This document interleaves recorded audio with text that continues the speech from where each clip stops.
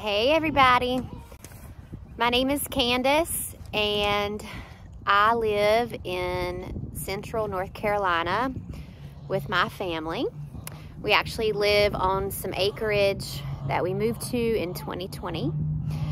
And we came from a tiny quarter acre lot um, in the city and we decided that moving was a good idea.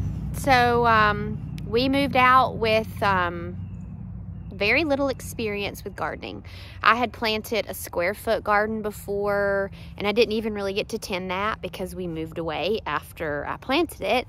Um, but we jumped right in when we got here. So I thought since gardening season was upon us now that it would be a good idea to just give you a little taste of what our journey looked like. So in this video, I'm gonna walk you through what year one of our garden looked like in 2021 um, how we figured out what to plant, where we got our seeds, how we planted our seeds, and how we built our garden. I'll share a little bit about what we harvested, what we did with our harvest. Um, we are by no means experts and I'm learning every day as I go. So I thought I would just take a minute, like I said, to share with you. So I hope you learned something in this video. I hope that if you have any type of um, stirring in you to grow food, that this will just give you the push that you need to do that. So thank you for being here and let's get started. So one of the first things you probably want to do is figure out what zone you live in. We live in zone 7B and really all that means is when is your first frost date for the year and when is your last frost date for the year. So we're fortunate in North Carolina to have a really long growing season. Um, but you can just type in your zip code in an internet search bar to figure out what zone you're in. And from there, you can find some planting guides and figure out when you should plant what and how long it's going to take things to harvest or to come to harvest. Um, but that's definitely a good place to start. As for figuring out what you want to plant, what do you eat? Um, just think about what your family eats and the things that you buy at the grocery store and start there. So we actually used our sunroom as kind of a makeshift greenhouse and you can see that this space is so lovely. When we came out and looked at this house, I had a vision immediately for trying to use that for a greenhouse.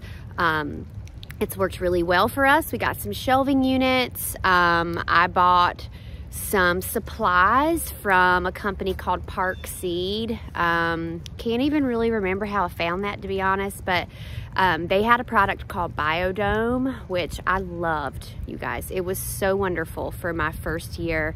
Um, and I used it my second year too, but um, they're little coco coir plugs that you plant the seed down into and then you put a dome over it so it makes um, just a miniature greenhouse and the seeds germinated really fast. So I was really blown away at how well that worked. Um, I bought some other supplies. I got some Jiffy greenhouse like started herb garden in your windowsill type things and they worked okay um, they certainly got the job done also bought these peat cups which I do not recommend these um, I'm really thinking about doing a whole video about this product and just why I did not love it but um, plant in anything you have.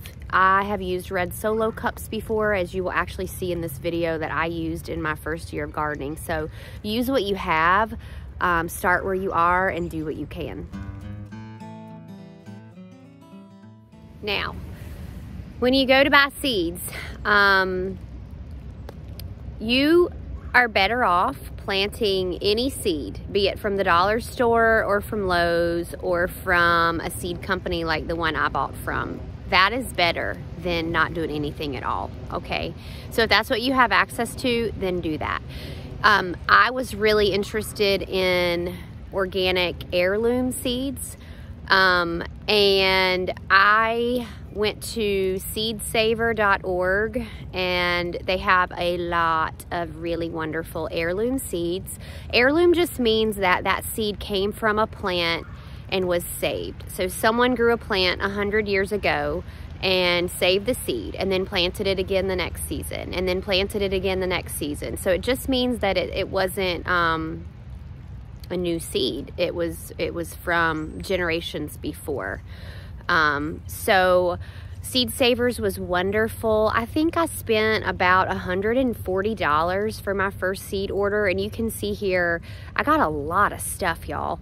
And um, I decided to store my seeds in baseball card sleeves. I love organization and keeping things neat. It just helps me manage my life. And um, so I found baseball card sleeves and got some dividers and put them in a binder and sectioned them off by herbs, flowers, fruit, um, etc. And it worked really well for me. So I'm fortunate to have some friends that have gone before me in this life of homesteading. And um, I've kind of been dubbed a professional question asker to some of them because I just bombarded them with questions about um, all the things. And I would encourage you to do the same thing, including me. Ask anything you want, but get to know um, farmers in your area. Find a local farmers market and ask them questions too. Um, it's really am amazing how willing people are to share what they've learned along the way because the truth is somebody taught them to. Um, so I would have, had I not asked any questions, got a tiller and tilled up our land because that's what I saw my papa do my whole life. I grew up um, watching my great grandparents garden. It wasn't a huge garden, but they grew things that my great grandmother would can, and he tilled. So I thought that's what you did. And I later learned that it's actually um, can be better. I'm not going to tell you what you should do, but it can be better and has been found to produce less weeds if you actually don't till the soil. I know, right? Mind blown. I was. But um, tilling the soil is going to disturb the weed seed that is beneath the soil.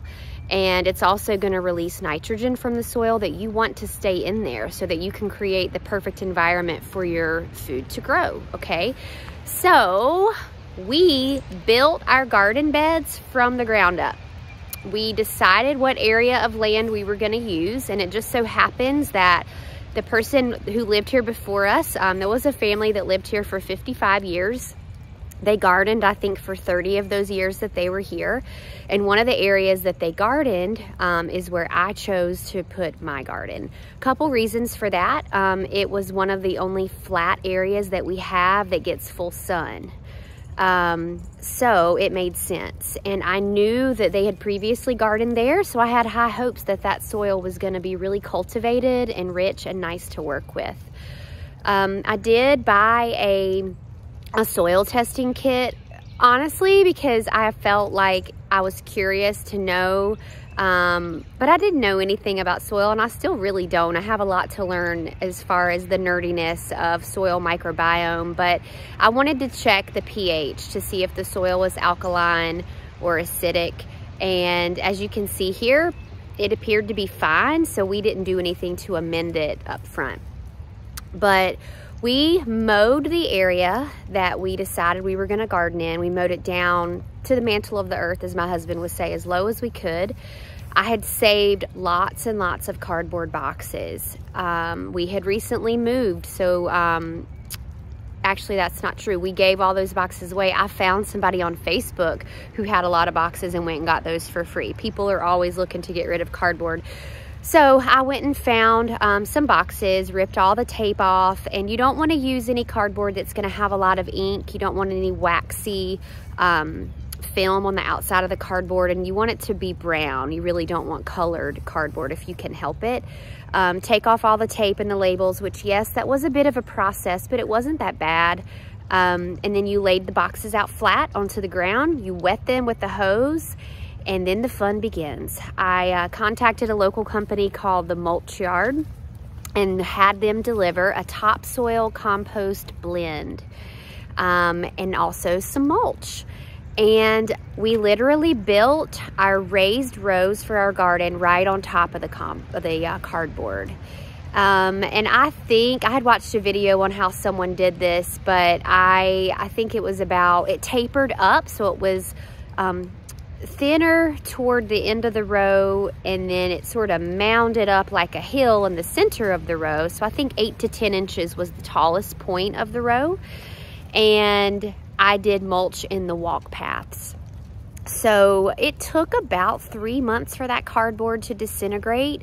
And I was real curious. So I was checking all the time through the season to see. But it eventually broke down and we just had really rich soil there in the ground.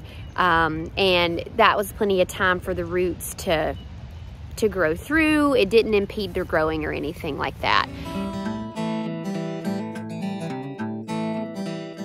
Now before we planted, we did harden off our plants. So this just means we took things from the sunroom and put them outside in natural light for a couple days, uh, some longer, but we did that before we put them out into the soil.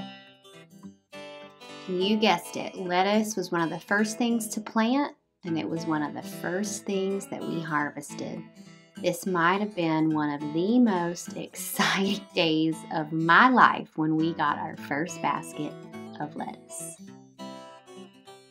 Now you might be wondering, how did we know what to plant where? It's a great question.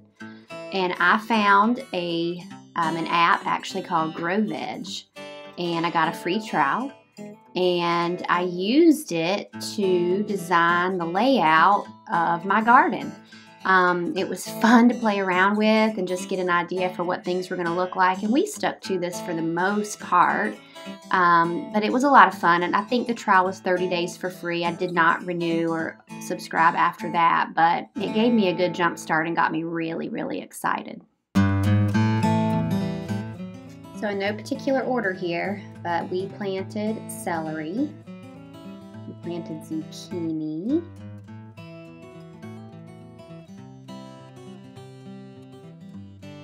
we planted eggplant, and broccoli.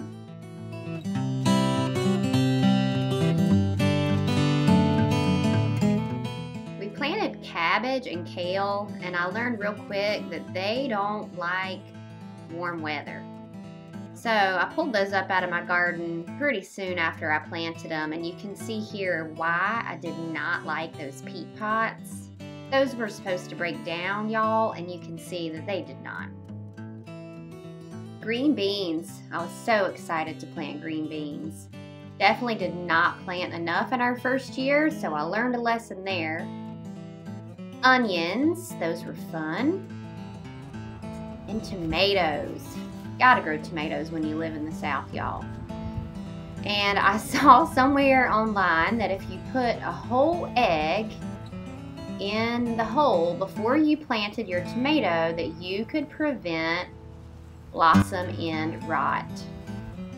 And the funny thing is, I did this, but I ran out of eggs. So not all the holes had an egg. And I didn't label which ones I put the egg into. And of course I forgot by the time that the plants came into full maturity. So I can't tell you if this worked or if it didn't work. I just wasted a bunch of eggs if nothing else because we did end up getting blossom end rot and I'll show you that. I planted our tomatoes in raised beds. A few plants I planted in containers, but one of the two is how we opted to do it. And I did use some stakes to tie them up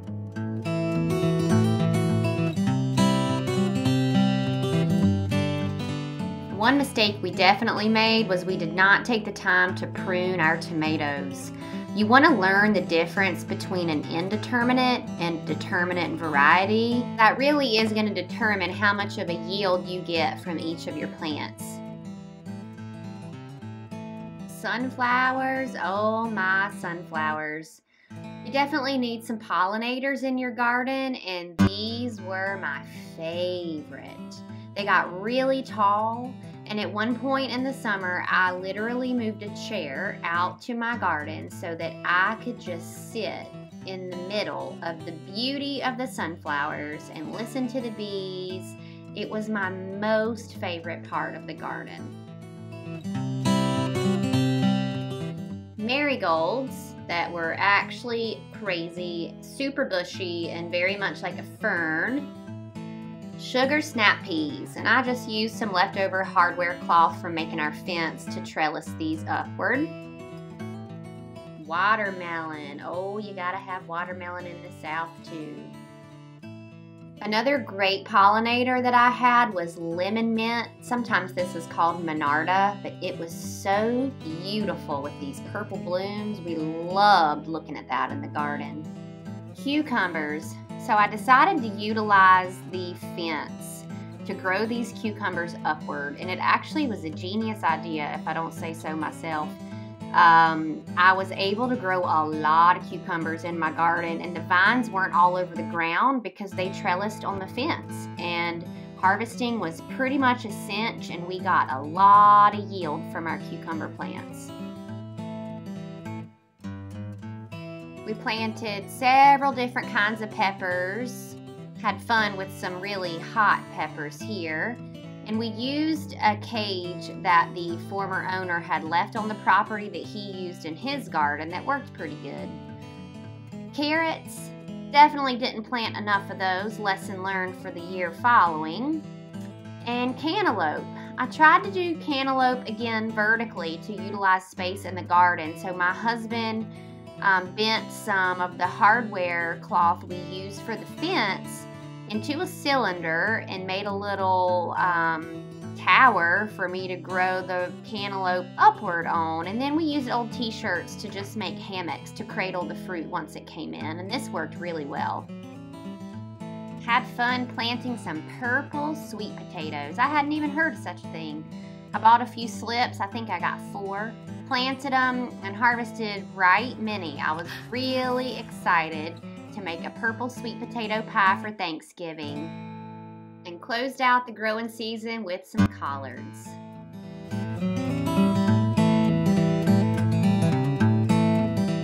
So I did everything from stuffing squash flowers with cheese and frying them in a pan to feeding things to my chickens. I made a lot of relish and pickles. I probably made pickles more than I made anything else. I gave a lot of those away as Christmas gifts. I actually harvested some of the sunflower seeds that we had from those beautiful sunflowers and roasted those. That was kind of a flop. Um, and let's see, I made some salsa and I canned a little bit of green beans, but didn't really have enough to justify much of that many things that I don't have pictures for, but really just spent a lot of time having fun in the kitchen.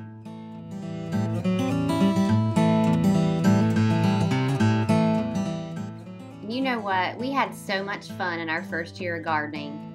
We decided to double our space.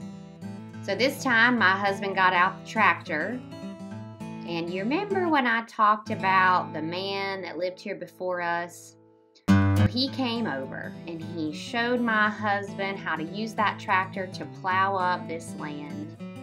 And we made a whole nother garden, so we doubled our space and then some.